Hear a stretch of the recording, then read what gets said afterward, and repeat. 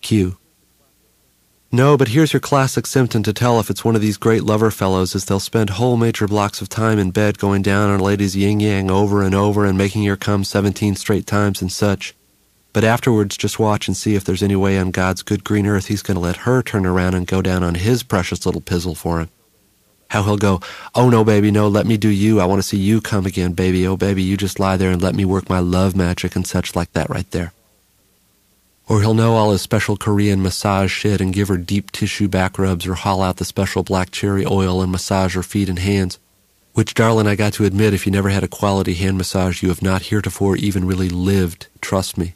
But will he let the little lady reciprocate and give him even just one back rub? No, sir, he will not. Because this type fellow's whole trip is he's got to be the one giving the pleasure here, thank you, ma'am. See, it's different. It's got a screw lid with an airtight seal so you don't smell up your pocket. They're stinky little boogers. And then it goes right in this little flap thing here where, why, it could be anything at all. Because this is where your smoothie type is being stupid. This is what gives me my contempt for these fellows that go around thinking they're the Lord's own gift to the female species. Because at least your cracker type's halfway honest about it. They want to nail her and then roll off, and that's all she wrote. Whereas, but your basic smoothie thinks he's all sensitive and knows how to please a lady just because they know clitoral suction and shiatsu, and watching them in bed's like watching one of these stupid ass mechanics in white coats work on a Porsche all swelled up on their expertise and such. They think they're a great lover. They think they're generous in bed. No, but the catch is that they're selfish about being generous. They're no better than the pig is, they're just sneakier about it. Now you're going to be thirsty. Now you're going to want you some Evian. This shit'll dry out your mouth something fierce.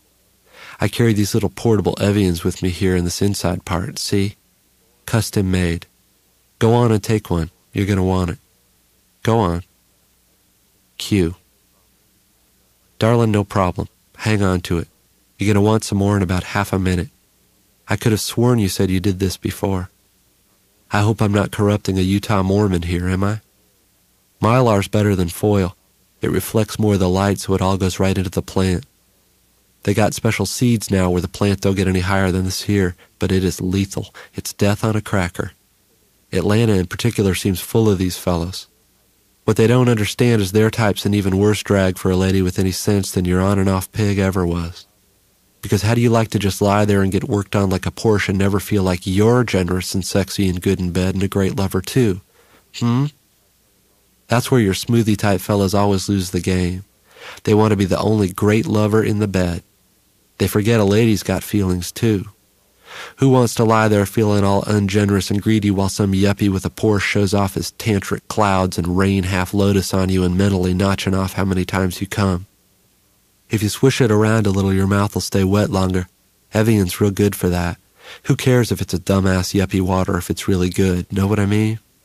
The thing to watch for is if the fellow, when he's going down on you, if he keeps one hand on the lower part of your stomach there to make really sure you're coming, why then you'll know.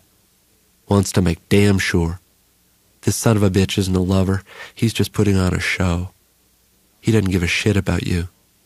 You want my opinion? You want to know how to really be great if you really want to please her? That there's not one fellow in a thousand that's figured it out? Do you? Q. The secret is you got to both give the little lady pleasure and be able to also take it, with equal technique to both and equal pleasure.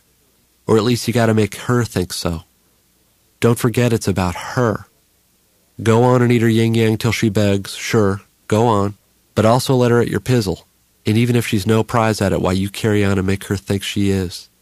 And like if her notion of a back rub's just some of those little pissant karate chops on your backbone, why you go on and let her and you carry on like you never knew a karate chop could be like this. That's if a fellow wants to be a genuine great lover and go and think about her for one damn second. Q. Not on me, darling, no. I mean, I usually do, but I nibbled them up already, I'm afraid. The real fall down of these wannabe great type fellows is they think a lady is, when you come right down to it, dumb. Like all a lady wants to do is just lie there and come. The real secret is, assume she feels the same way as you. That she wants to see herself as a great lover that can blow the top of a man's head clean off in bed. Let her. Put your picture of yourself on the goddamn back burner for once in your life. The smoothies think if they blow the little lady's head off down there, they got her. Bullshit. Q. But you're not going to want just one, though, darling. Trust me. There's a little mart thing a couple blocks if we. Whoa, watch your. Q. No, you go on and make her think she's blowing your damn head off. That's what they really want. Then you really and truly got her if she thinks you'll never forget her. Never ever. You follow?